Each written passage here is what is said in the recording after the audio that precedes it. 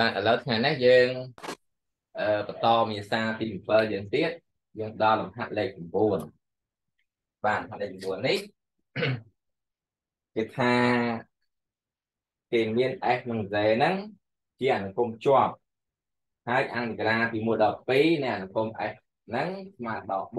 4អង្គក្រាទី2ដល់5ស្មើ6ហើយនឹងអង្គក្រាទី1ដល់5នៃ Z ស្មើ8 កហ្នឹងគេឲ្យធ្វើអន្តក្រាគេដាក់អន្តក្រាកែដាក់ពី1ទៅ5នៃ f x ហ្នឹងឥឡូវយើងឃើញថា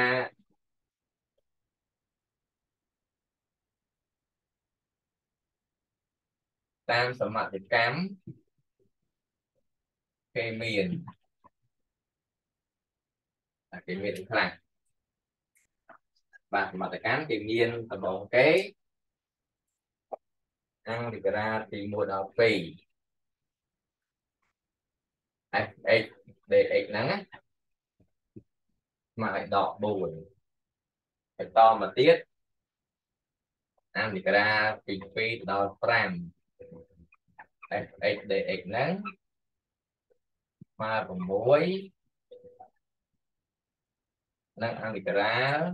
ពី1ដល់5 jx dx ហ្នឹង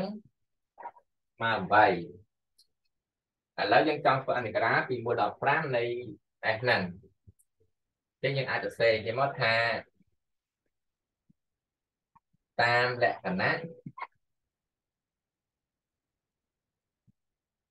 នៃអន្តក្រាកំណត់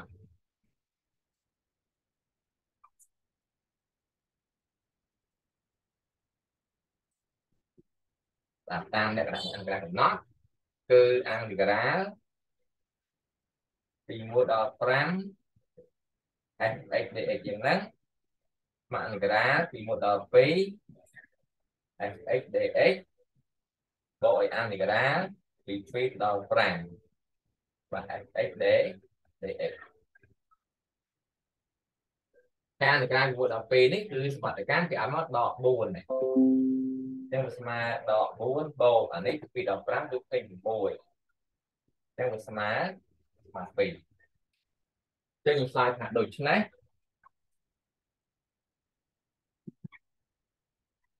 អង្គក្រាពី1ដល់5 fx dx យ៉ាងនេះវាស្មើ12បាទប៉ុណ្ណឹងឯងចប់ហើយ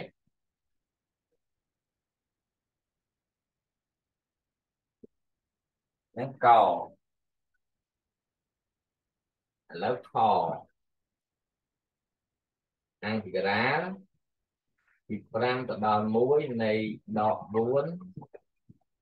fx dx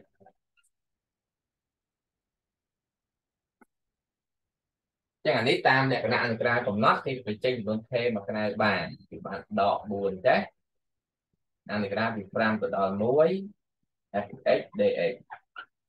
អញ្ចឹងទីដក4ឡើងព្រោះយើងប្រវល់ដែនប្រវល់ដែនដូរសញ្ញាប្រវល់ដែនពី5ពី1ដល់5វិញ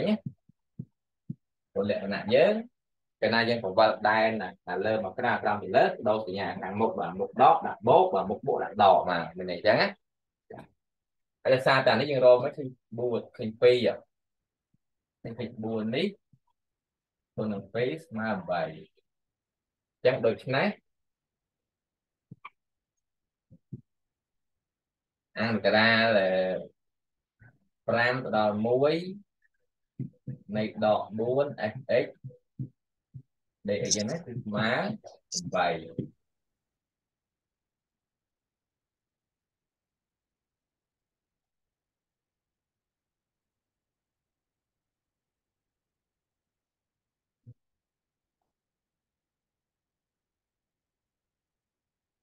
បាទប៉ុណ្ណឹងឯងពីខយើងឥឡូវពីកោអង្គការ៉ាពី1ដល់5នៃ4 fx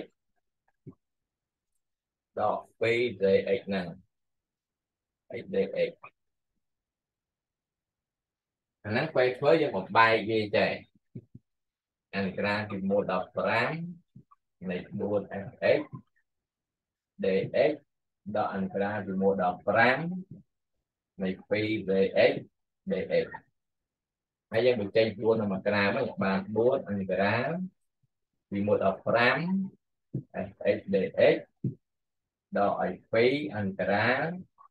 ពី1ដល់5 vx dx ហ្នឹងហើយអន្តរាលពី1ដល់5នៃ s ហ្នឹងយើងរកឃើញមិននេះ មក2ហើយដកឲ្យ2អនុក្រាម1ដល់5នៃ z យ៉ាងនេះគឺ8 8ចឹងបាន8ដកឲ្យ16នេះមកដក8ចឹងដូច្នេះអនុក្រាមពី1ដល់5នៃ 4fx ដកឲ្យ 2zx ហ្នឹង dx នេះមកឲ្យដក8តែគឺមកដក8ហ្នឹងណា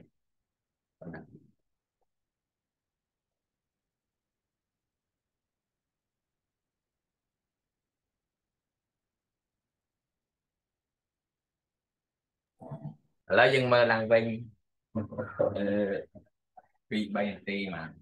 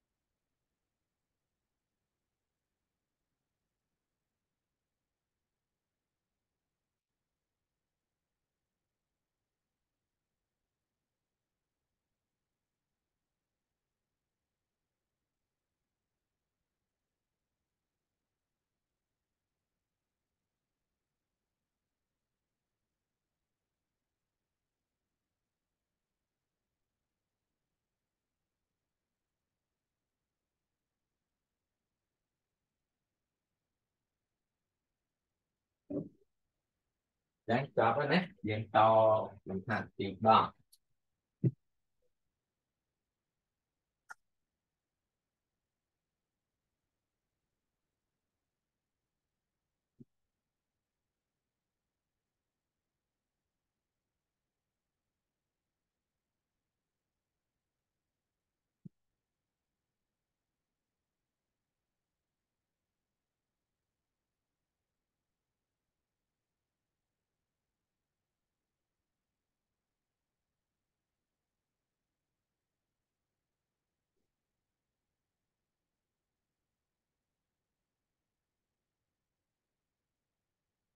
ការបន្លងឆ្នាំ2014ហ្នឹងវាចេញ13រ៉ូម៉ាំងអឺលំហាត់ទី10ហ្នឹងស្ថិតិឥ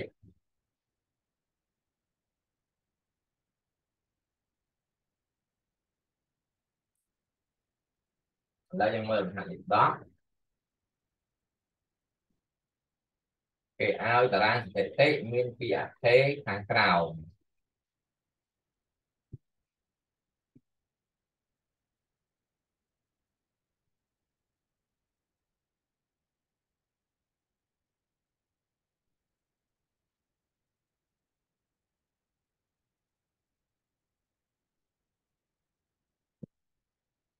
បាទគេឲ្យតារាងហេតុមានពីអតិខាងក្រោមគេផ្សេងអានេះ x y អានេះ y y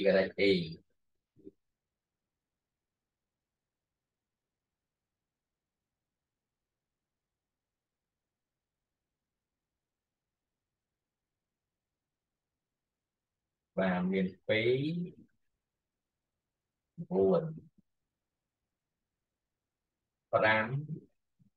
10 3 25 4 20 5 18 6 19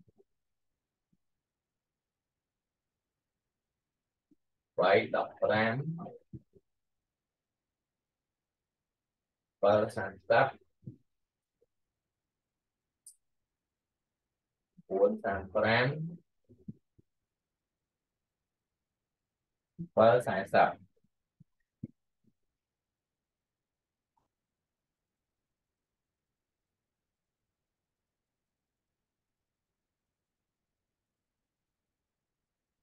គេឲ្យតារាងស្ថិតិមានពីអធិខាងក្រោមហ្នឹងអញ្ចឹងគេឲ្យបកស្រាយស្ថិតិពីអធិដោយចំណុច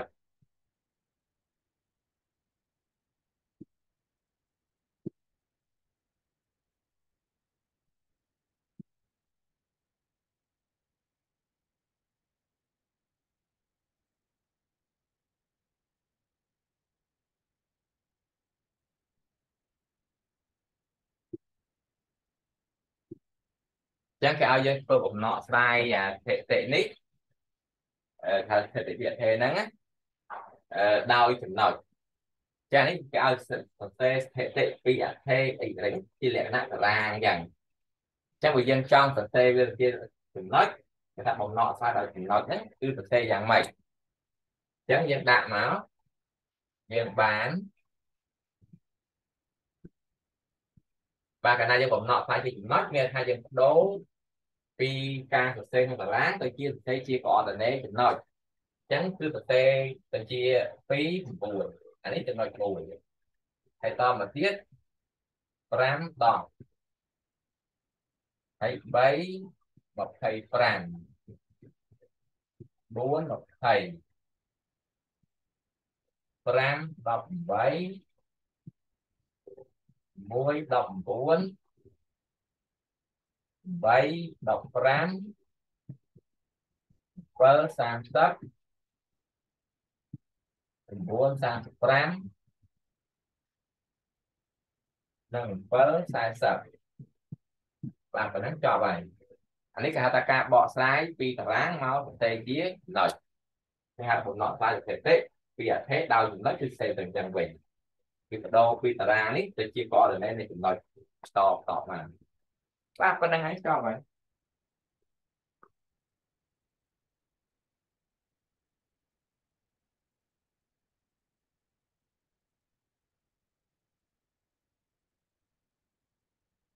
មានអីឆ្ងល់អត់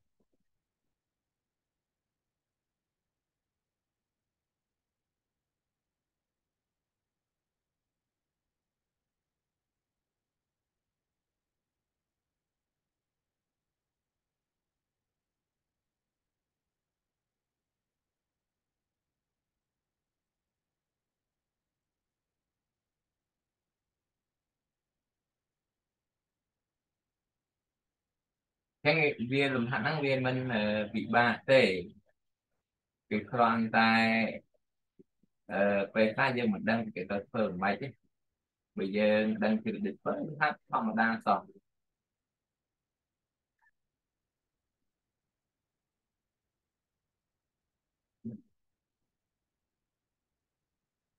ឡូវយើងចូលលំហាត់លេខ11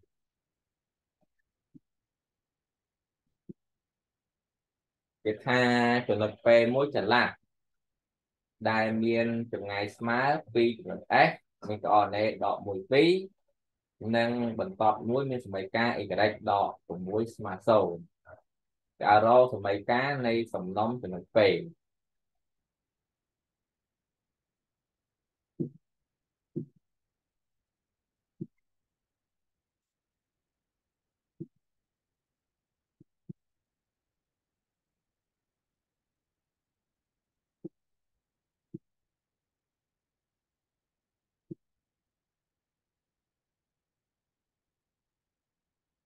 ឥឡូវចំណុច S យើងគេឲ្យមកដក1 2ហើយនឹងថាបន្ទាប់ D1 នឹងសម្រាប់ការ y ដក6មក0ចឹងឃើញថាអឺពេលហ្នឹងវាជាចំណុចចល័តពាក្យចល័តហ្នឹងសំដៅលើ ចំណុចវាប្រែប្រួលអញ្ចឹងគេថាពេលជាចំណុចមួយដែលប្រែប្រួលហើយមានចម្ងាយស្មើពីបន្ទាត់ D ហើយនឹងចំណុច S នេះអញ្ចឹងតើសំណុំតើសមីការនៃសំណុំទៅហ្នឹងយ៉ាងម៉េចចារោនឹងដើម្បីដោះស្រាយយើងគិតអញ្ចឹងដើម្បីខ្ញុំគូរូបបង្ហាញបន្តិចណា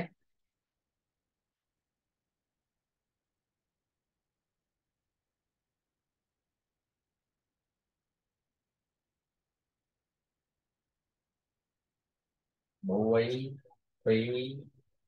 4 5 6 1 2 3 4 5 1 2 3 4 5 6អានេះជាបន្តដេនេះ6បាទដេ y ដក6ស្មើ0 ចាំជាបន្តដេកនេះបើយើងស្រង់ទៅតែស្មើ9ហើយតបន្តមកទៀតចំណុច S នេះដក1ដក1 2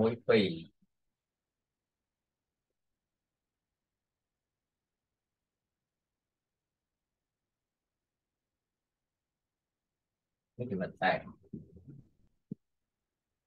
ដក1 2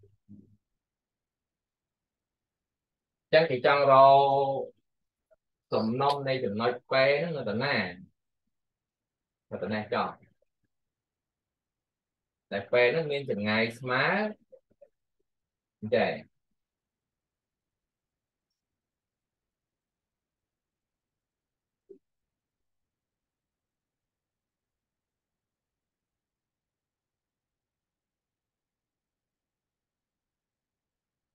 ពេលហ្នឹង វាមានចម្ងាយស្មើពីចំណុចពីចំណុចអឺ S នេះហើយនឹងបន្ត D ព្រោះពេលនេះប្រែប្រួលមិនប្រែប្រួលធ្វើយ៉ាងណាចម្ងាយពី P មក S ស្មើចម្ងាយពី P ទៅអឺ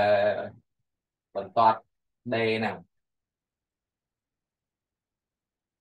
អានេះជាចំណុចខាងចុះហើយ P ហ្នឹងមានកអរណេ x y ចឹង ចឹងដើម្បីរកសមីការតាំងសំណុំចំណុច P ហ្នឹងគឺគេធ្វើតែរូបនេះយើងគូក៏បានមិនបាច់គូក៏បានមានថាគូវិយលយើងហេតុផលណាគាត់ថាយើងចង់រកសមីការតាំងឲ្យសំណុំនៃចំណុច P ដែលមានចម្ងាយស្មើទៅចំណុច S ហើយនឹងបន្ត D ចម្ងាយស្មើគ្នាចឹងតើសំណុំចំណុច P គឺស្អីអញ្ចឹងដើម្បីដោះស្រាយយើងអឺទី1យើងយកតាំង តាំងពេលហ្នឹងជាចំណុចមានតអណេអីក្រៃហើយតមកទៀតអឺតាមសមត្ថកម្ម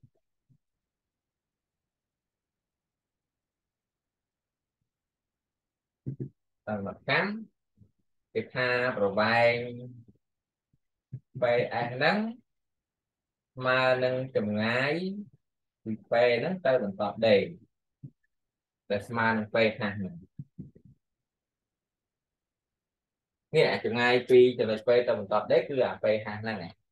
ហើយអាពេ n គឺពេ n ហ្នឹងហើយចឹងតាមសមត្ថកម្មគេប្រាប់ថាចំណុច P ហ្នឹងមានចម្ងាយស្មើទៅចំណុច S ហើយនឹងបន្ត D អញ្ចឹងវាថា D ពី P ទៅបន្ត D នេះស្មើនឹង PS ឥឡូវ ដោយ PS យើងនេះវាស្មើឬការ៉េ xs ដល់ xp បាទលើកពីការ៉េបូក y s នេះដល់ yp ហ្នឹងលើកជាការ៉េប៉ុណ្ណឹងឬក៏យើងទៅសេ PS យើងហ្នឹង ស្មើឬការ៉េអា xs ហ្នឹងគឺដក1នោះដក1ដក x 2គឺដក x លើកជាការ៉េហើយ y s ហ្នឹងគឺ2ដក y 2គឺដក y ដែលយើងតាំងណាបាទលើកជាការ៉េចេះទៅជាបានឬការ៉េ1បូក 2x បូក y ការ៉េបូក4ដក 4y ការ៉េបូក y ការ៉េ ចឹងយើងបានទៅជា x ការ៉េបូក y ការ៉េបូកឲ្យ 2x ដក 4y ការ៉េបូក5អានេះគឺជាប្រវែងចម្ងាយ PS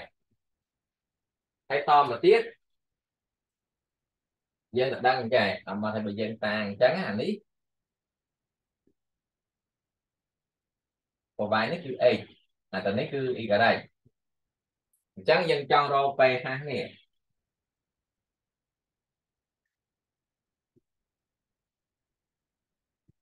ប្រវែង pH នេះប្រវែងនេះហៅប្រវែង pH ប្រវែងនេះអញ្ចឹង pH ហ្នឹងទៅស្មើប្រវែងនេះដកអានេះណានេះប្រវែងនេះវាស្មើអានេះ6 6ដកអានេះបើសិនជា p នៅក្រៅបើ p នៅខាងលើគេយក y ដក6វិញអញ្ចឹង pH ហ្នឹង ដោយសារតែ p ជាចល័តគេដាក់ក្នុងរូបភាពនេះគេយើងយកលំដាប់ខាត6ដក y p ព្រោះតនេះគឺ y មានថាដើម្បីរកប្រវែងនេះគេយកប្រព័ន្ធនេះ6ហ្នឹងហើយដកអាប្រវែងនេះចេញប្រវែងនេះគឺប្រវែង y p ពុក y p នេះពី0ទៅដល់នេះគឺ y ខាង p ហើយតែស្មើនឹង6ដក y ហ្នឹងផ្នែកខាងចឹងយើងខ្ទឹមយកអាហ្នឹងមកខ្ទឹមជាមួយអានេះព្រោះអាហ្នឹងវាស្មើគ្នា ចឹងដល់គេបានឬការ៉េ x ការ៉េបូក y ការ៉េការ៉េនេះបូក 2x ដក4 y ការ៉េបូក5ហ្នឹងបាទស្មើនឹងសមត្ថខាតនៃ6ដក y ការ៉េហើយយើងលើកវាជាការ៉េលើកជាការ៉េមកយើងបាន x ការ៉េបូក y ការ៉េនេះបូក 2x ដក4 y ការ៉េ បូក5ស្មើនឹង6ដក y លើកជាការ៉េតែលើកជាការ៉េទៅអស់មកលេខាដែរយើងបានជា x ការ៉េបូក y ការ៉េបូក 2x ដក 4 y ការ៉េបូក5នេះស្មើនឹង36ដក12ការ៉េបូកឲ្យ y ការ៉េហើយយើងរុញមកអង្គទី1មកអានេះយើងសម្រួលចោលការ៉េសងខាងអញ្ចឹងណាចូលទៅវាបានជា x ការ៉េបូក2អីរុញមកនេះវាបានបូក12ដល់14ដល់បូក8ដូចនេះអឺដកឲ្យ31ស្មើ0ឬវាយើងសរសេរវាទៅជា x ការ៉េបូក 2x បូក1ទេហើយដក1ហើយបានបូក 8y ដក31ស្មើ0វិញហើយបានទៅជា x បូក1លេខទីការ៉េស្មើរុញខាងវិញមកបានដក 8y បូកឲ្យ32ហើយយើងយើងទី8កតាណា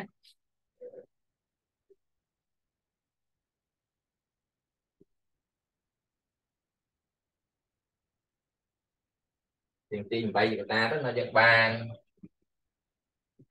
x បូក1លើកទីការ៉េមកដក8កតាឲ្យ y ដក4អញ្ចឹងមានថាដូច្នេះអឺសំណុំនៃចំណុចចលៈពេហ្នឹងគឺជា ប៉ារ៉ាបូលពេដែលមានសមីការ x បូក1លើកទីការ៉េស្មើ18គេថា y ដក4អានេះជាប៉ារ៉ាបូលធោអញ្ចឹងសមីការនៃសមីពេនេះគឺជាប៉ារ៉ាបូលហ្នឹងសមីការគេប៉ុណ្ណឹងបាទប៉ុណ្ណឹងប៉ុណ្ណឹងឯងចប់ហើយ តែលំហាត់នេះជាលំហាត់ពិសេសដែរបើសិនជាយើងមិនធ្លាប់ឃើញវាទេមិនដឹងថាយើងត្រូវសរសេរពីណាទៅណាទេអញ្ចឹងក្នុងទីនេះយើងត្រូវមើលគំនិតហ្នឹងហើយយើងរៀនសរសេររៀនស្ដាយតាមហ្នឹងមករូបមន្តហ្នឹងវាតកតងអឺថ្នាក់ទី9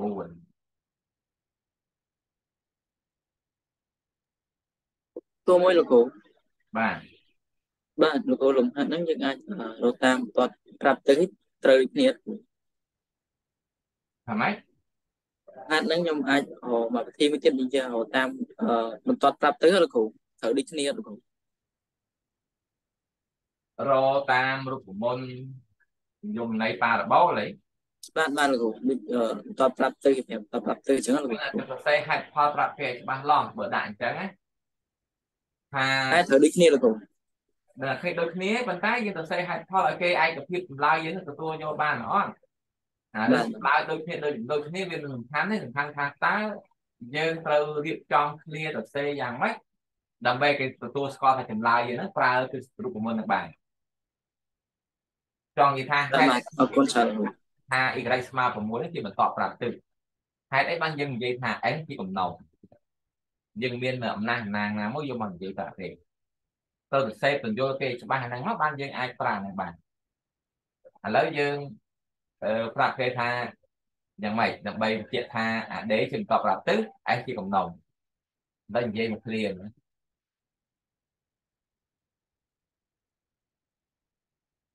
ព្រោះយើងមុននឹងសម្រាយអាហ្នឹងដាក់អាហ្នឹងជាបន្តប្រាប់ទិសជាកំណត់ហេតុផលមិនដឹងថាហ្នឹងជាបន្តប្រាប់ទិសហេតុផលបានជាថាឯងជាកំណត់ទៅផ្សេងឃ្លាបញ្យល់គេសិនបានយើងប្រើចម្រាយហ្នឹងត្រូវ អារឿងចម្លើយដូចគ្នាដូចគ្នាវាសំខាន់សំខាន់ថាតើយើងសរសេរដំណោះស្រាយហ្នឹងយើងបញ្យល់ហេតុផលគេបានអឺច្បាស់ដែលគេអាចកភាពដែលគេអាចឯកភាពទទួលស្គាល់ចម្លើយយើងហ្នឹងបានប៉ុណ្ណាកម្រិតណាឥឡូវចាក់និយាយតិចមើលយើងយើងធ្វើតាមនេះយើងនិយាយថាម៉េច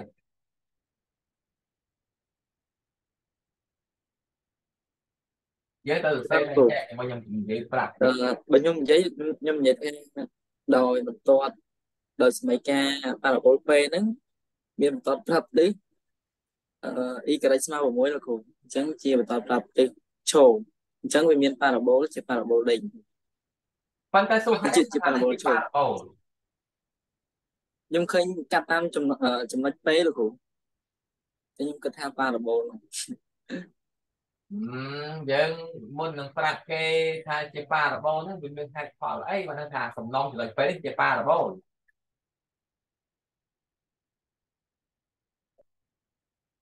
ចំណុចនេះខ្ញុំមិនសូវច្បាស់ដែរលោកគ្រូអាហ្នឹងយើងត្រូវសរសេរប្រាក់គេអញ្ចឹងព្រោះឲ្យយើងសម្រាយខ្លះយើងធ្វើហ្នឹងវាត្រូវវាចេញចម្លើយដូចគេអញ្ចឹងដែរប៉ុន្តែយើងអត់មានហេតុផលអ្វីដែលសរសេរវិជ្ជាគេគេជឿជាក់ថាហ្នឹងអឺ ទទួលយកបានទទួលស្គាល់ចម្លើយដែលយើងបកស្រាយហ្នឹងពីព្រោះថាយើងមុននឹងបង្ហាញមួយយើងមានអំណាចណាងយោងតាមស្អីគេបើថាយើងចង់ប្រើអាហ្នឹងគេទៅប្រាប់ថាចេះយើងថាយោងតាមនិយមន័យអឺនៃប៉ារ៉ាបូលសំណុំនៃចំណុចមួយស្ថិតនៅក្នុងប្លង់ដែលមានចម្ងាយស្មើ ទៅចំណុចនឹងមួយហើយនឹងបន្តថេមួយអាហ្នឹងហៅថាប៉ារ៉ាបូលអញ្ចឹងដោយសារតែពេលហ្នឹងវាជាចំណុចមួយក្នុងប្លង់មានចម្ងាយស្មើទៅនឹងចំណុចនឹង S ហើយនឹងបន្តថេ D អញ្ចឹងមានន័យថាសំណុំនៃចំណុចពេកគឺជាប៉ារ៉ាបូលក្នុងប្លង់ហ្នឹងហើយដោយសារតែបន្តនេះជាបន្តដេកនោះពេកជាប៉ារ៉ាបូលឈោដែលមានដេកជាបន្តប្រាប់ទឹកហើយចំណុចនឹងនេះអេ ជាកំណងហើយបានយើងប្រើពីស្បត់នឹងមកបានបើសរសេរបញ្យលគេចឹងទេមិនទៅជឿថាហ្នឹងជាប៉ារ៉ាបូលមិនមកព្រមស្វែងថាហ្នឹងជាប៉ារ៉ាបូលព្រាមទេអមមកបំហាត់មួយចឹងអមមកខូននិមិត្តថ្នាក់ទី9ចុះមុននឹងអះអាងថាត្រីកោណ ABC ហ្នឹងជាត្រីកោណកែងត្រង់កំពូល A តែយើងទៅសរសេរមិនបែរថា A ហ្នឹងជាមុំកែងឬហេតុផលបង្ហាញសិនយោងតាមអីមុំហ្នឹងជាមុំយ៉ាងម៉េច ចរិតកលាស់រង្វង់ឬក៏សមត្ថកម្មគេឲ្យវាយ៉ាងម៉េចមុននឹងបានថាហ្នឹងវាកែងទៅបានគាត់និយាយថាហ្នឹងគឺទៅកម្មកែងកុំឲ្យមិនតាន់នឹងមានអីហេតុផលមកតាំងទៅកម្មកែងក៏ដោយមិនគេឲ្យបន្ទុកហ្នឹងនិយាយពីរបស់ដែលខ្លីងាយបំផុតថាទី8ទី9យើងហ្នឹងចាតែនេះដើមមុនសង្ឃថាថាហ្នឹងវាជាបារបូវាយោងតាមស្អីវាមានទិសបត់មានយមន័យមានអីផងគេរៀបឃ្លាហ្នឹងមកប៉ុន្តែលំហាត់នេះបើសិនជាយើង គេដាក់សួរបែបហ្នឹងយើងគួរស្រាវជ្រាវដោយសន្មតថាយើងអត់ដឹងថាវាជាស្អីទៅកាលណាយើងរកទៅវាចេញជាប៉ារ៉ាបូលខ្លាចតែប៉ារ៉ាបូលរកទៅចេញជាអេលីតខ្លាចតែអេលីតរកទៅចេញជាអ៊ីពីបូលខ្លាចតែអ៊ីពីបូលតែម្ដងមានថាយើងអត់បានដឹងថាប្រភេទជាអីទេប៉ុន្តែបើយើងយកតាមនិយមន័យយើងដឹងថាហ្នឹងគឺជាប៉ារ៉ាបូលដែរព្រោះវានិយមន័យនៅក្នុងផ្នែកកោនិកដែលហៅថាប៉ារ៉ាបូលហ្នឹងវាជាសំណុំចំណុចក្នុងប្លង់ ដែលមានចម្ងាយស្មើពីចំណុចនឹងមួយនិងបន្តថេមួយហើយចំណុចនឹងមួយហ្នឹងគេហៅថាកំណុំហើយបន្តថេមួយនេះគេហៅថាបន្តប្រតិទមានន័យអញ្ចឹងណាហ្នឹងជានិយមន័យហើយបានយកពីនិយមន័យហ្នឹងមកបានគេបង្កើតសម្ដីការស្តង់ដារនៃប៉ារ៉ាបូលទម្រង់មិនហើយអាណារូបក្នុងព្រះអង្គនៃកំណុំទៅស្មើអីតបប្រតិទមិនអីមិនហោថែមកហ្នឹងមិនអញ្ចឹងណា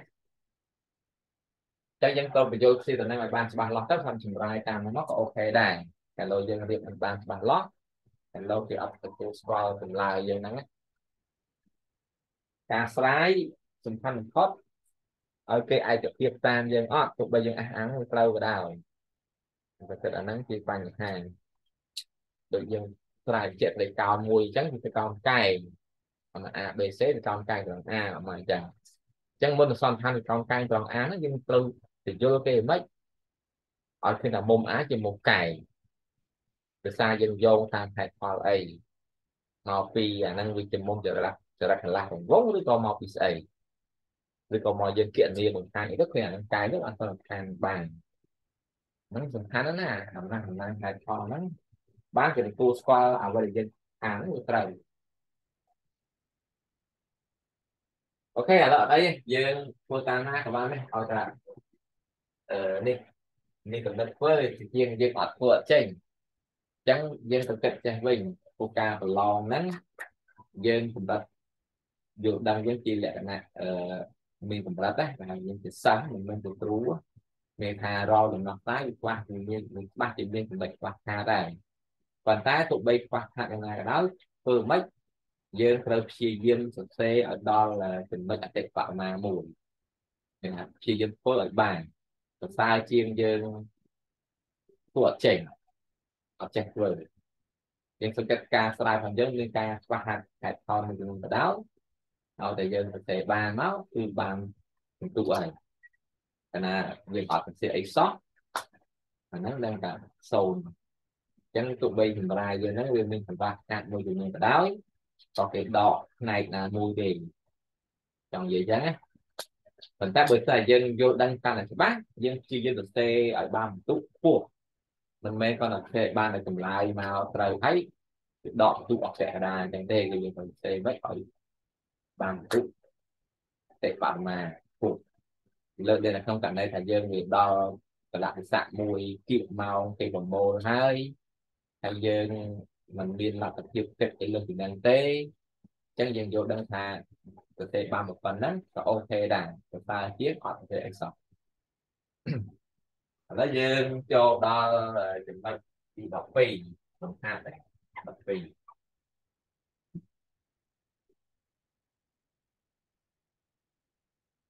គេឲ្យយើងរកសម័យកាអេលីបតែ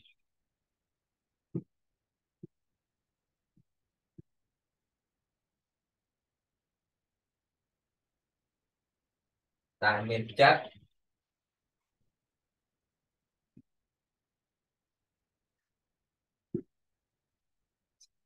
បានសូនសូនបាននឹង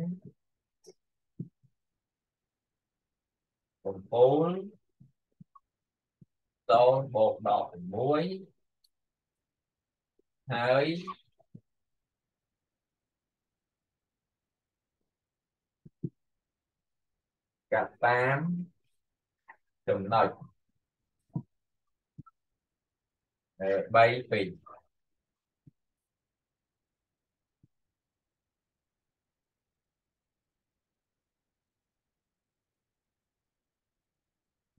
3 2ឥឡូវយើងចង់រកសម័យកាអេលិក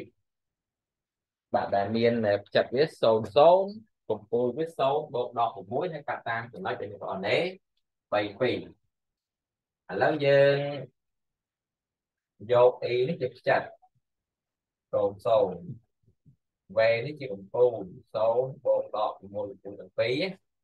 ហើយនឹង a នេះជាចំណុចមានប្រអនេ3 2តមកទៀតយើងតាមអឺនេះ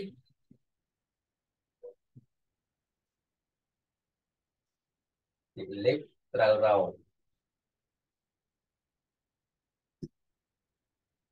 ហើយតមកទៀតយើងឃើញថាដោយអាប់ស៊ីសនៃចិត្តស្មើអាប់ស៊ីសនៃកំពូលអញ្ចឹងអេលីតមួយដែលមានអាប់ស៊ីសចិត្តនិងអាប់ស៊ីសកំពូលហ្នឹងស្មើគ្នាគឺអាប់ស៊ីសហ្នឹងវារត់ត្រង់គ្នាអឺមើលថាធ្វើឲ្យចំណុចចិត្តនិងកំពូលរត់ត្រង់គ្នាស្របតាមអតនេ នេះតែគណៈអាស៊ីនឹងចិត្តអាស៊ីកំពុងស្មើគ្នានោះអឺគឺជាអឺហ្នឹងគឺជា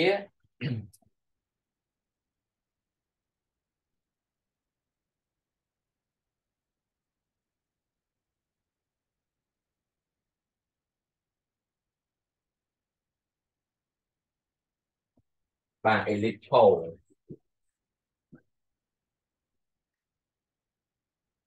បាទដែលមាន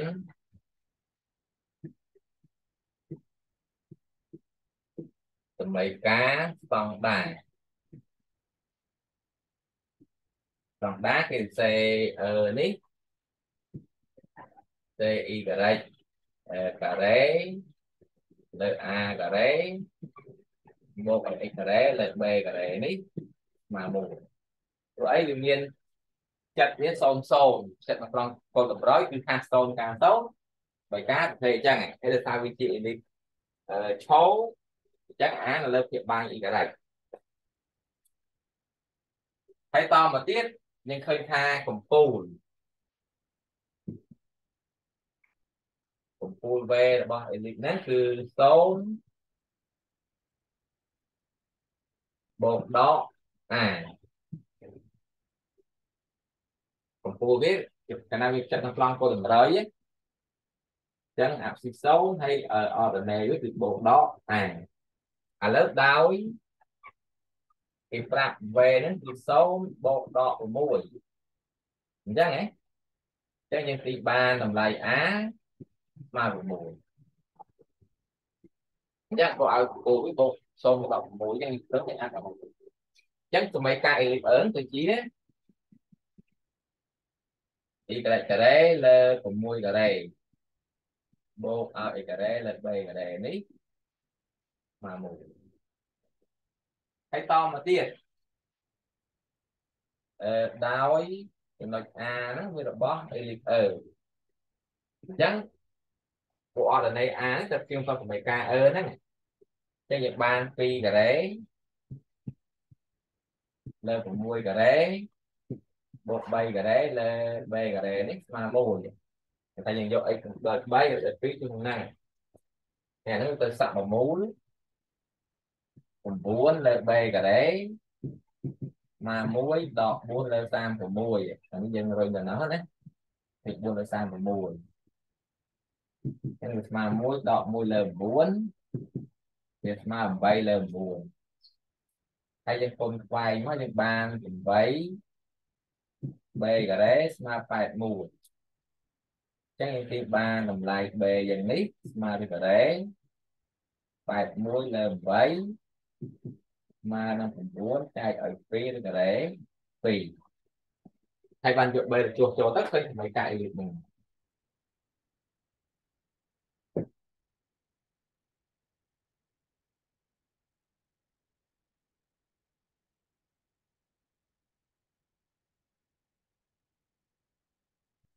ចឹងដូច្នេះបីការអេលីតអើចឹងគឺអ៊ីការ៉េការ៉េលើ36បូកឲ្យអ៊ីការ៉េនេះចែក9លើ2ការ៉េ2នេះលើការ៉េវាស្មើស្មើ1ចំណែក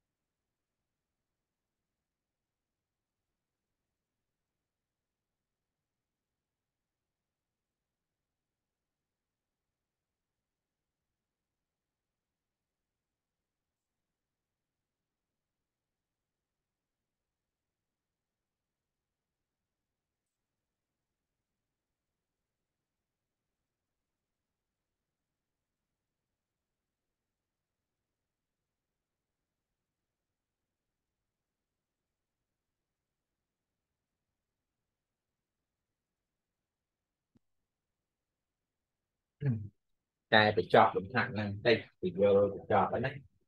ទី13ប្រឡង13ដល់លំហាត់វិញ្ញាសាប្រឡងឆ្នាំហ្នឹងឆ្នាំពីស្គាល់ម៉ាក់ហ្នឹងពីស្គាល់14ហ្នឹងឥឡូវយើងមើលលំហាត់លេខ13គេថារកសមីការស្តង់ដានៃអ៊ីក្រាបូល ដែលចំពោះគ្រប់ចំណុចនៅលើអ៊ីក្រាបូលមានផលដកចម្ងាយវាពីចំណុចដក3សូមនិងដក3 3ស្មើនឹង2មកហ្នឹងខ្ញុំរៀនពេលនេះមិញ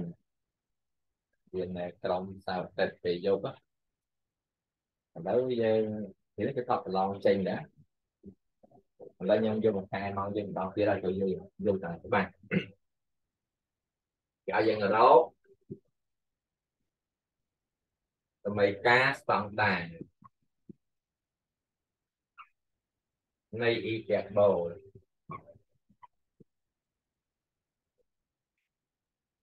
កេបូលដែលចំពោះ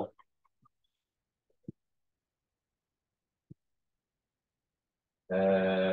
គ្រប់ចំណុច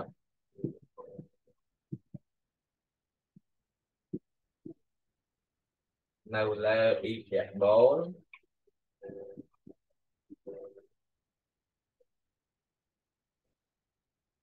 មានផលដកចំណាយ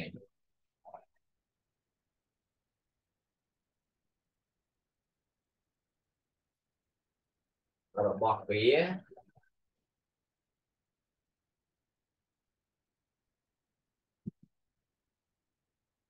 ពីចំណុច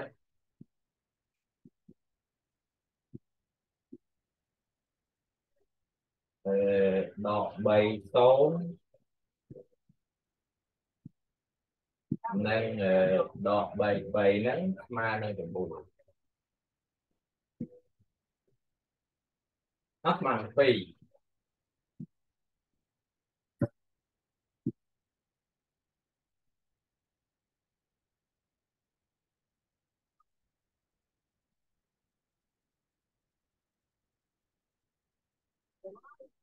ធ្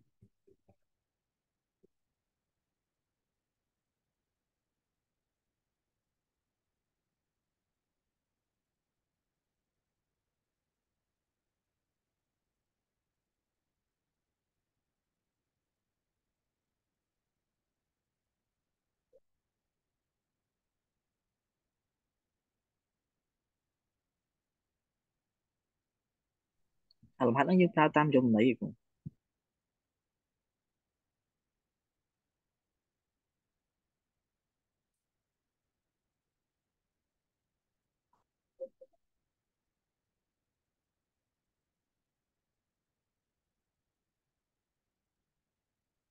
ចឹងដើម្បីដោះស្រាយទី1យើងអឺយក f អងជាចំណុចដែលមាន RNA ដក3សូមហើយ f ដើ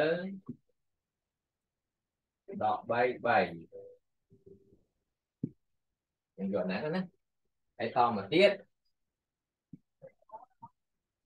យើងតាហាជាអ៊ីពាក្យបោត្រូវរោ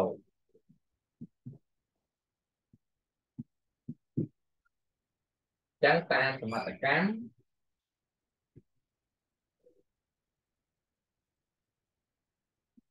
ឃើញថាគ្រប់ចំណុច M របស់អ៊ីពាក្យបោហ្នឹងមានផលដកចម្ងាយពី F អងហ្នឹងដល់ M ដកឲ្យ F ដើទៅ M ហ្នឹងស្មើនឹង2អញ្ចឹងផលដកហ្នឹងវាស្មើនឹងប្រវែងអបដោយរបស់អ៊ីពាក្យបោហើ យអញអងឲ្យទៅដើរតួជាកំណុំអញ្ចឹងស័កប្រមូលយើងបាន 2a ស្មើ2នោះយើងរកឃើញ a ស្មើ1អញ្ចឹងដល់ពេលសមត្ថកម្មគេឲ្យផលដកចម្ងាយអញ្ចឹងអាផលដកហ្នឹងគឺជាប្រវែងអបណ្ដោរបស់អ៊ីពាក្យបូហ្នឹងហើយហើយអាចំណុចនឹងពីនេះក៏ត្រូវដាក់តួជាកំណុំអាហ្នឹងយោងតាមយមន័យអ៊ីពាក្យបូ ហើយតទៅឃើញថាអឺដោយអាប់ស៊ី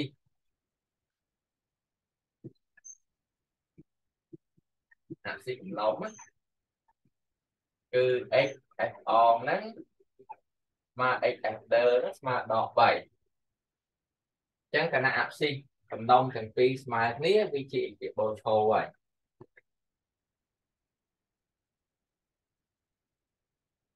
ចឹងនោះ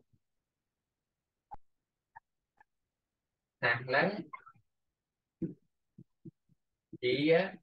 អ៊ីពេបូលហូបានមានសមីការស្តង់ដា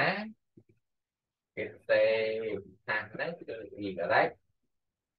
ដកការលើពីការ៉េលើ a ការ៉េនេះដក x ដកហាលើពីការ៉េទាំង b ការ៉េស្មើ1 ឥឡូវរូបមន្តកំណុំយើងគឺកំណុំទី1នេះគឺគឺហា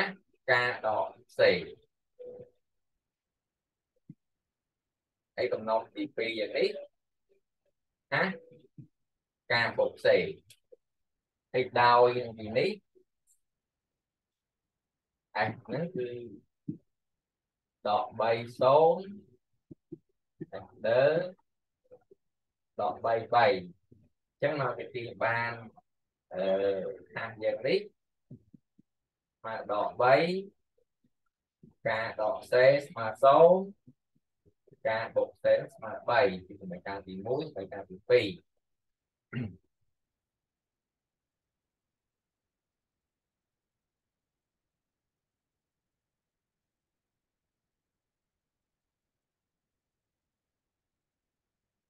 រួចហើយយើងយកសម័យកាល1និង2បូកគ្នាអស់អស់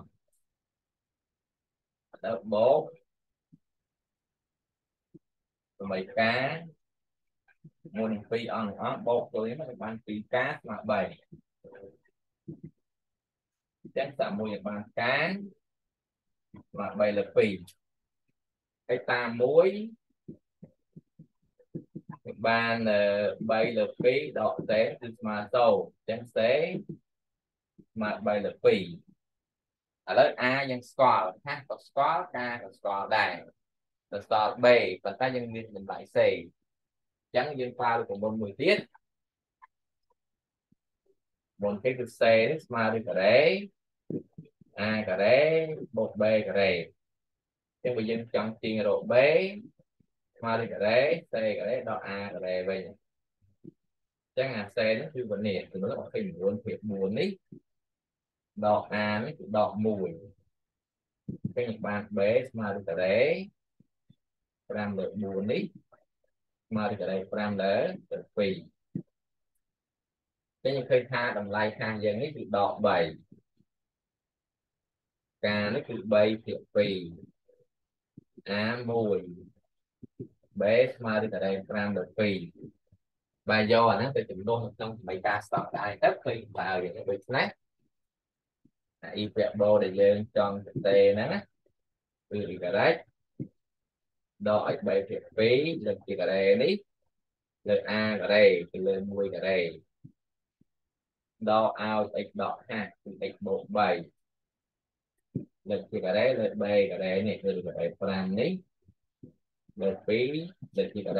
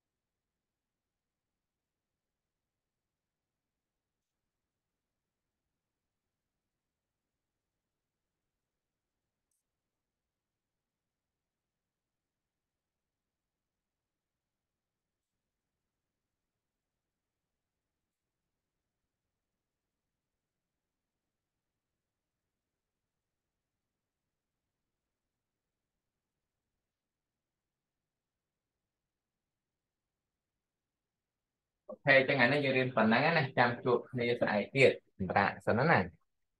ព្រោះដល់ម៉ោងហើយអត់ជម្រាបលាលោកគ្រូបាទបាទរៀនបាទបាទ